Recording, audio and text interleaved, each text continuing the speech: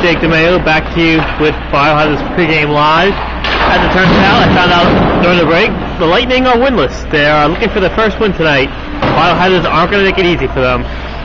Making his triumphant return to the Biohazards is number 99, Martin, who is back in the lineup tonight for the first time since the opener.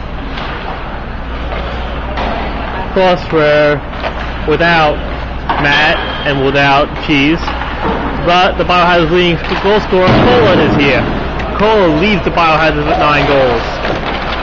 The Biohazards have four other skaters tied for second place with three goals. They include Dave, Vin, Tom, and Paul.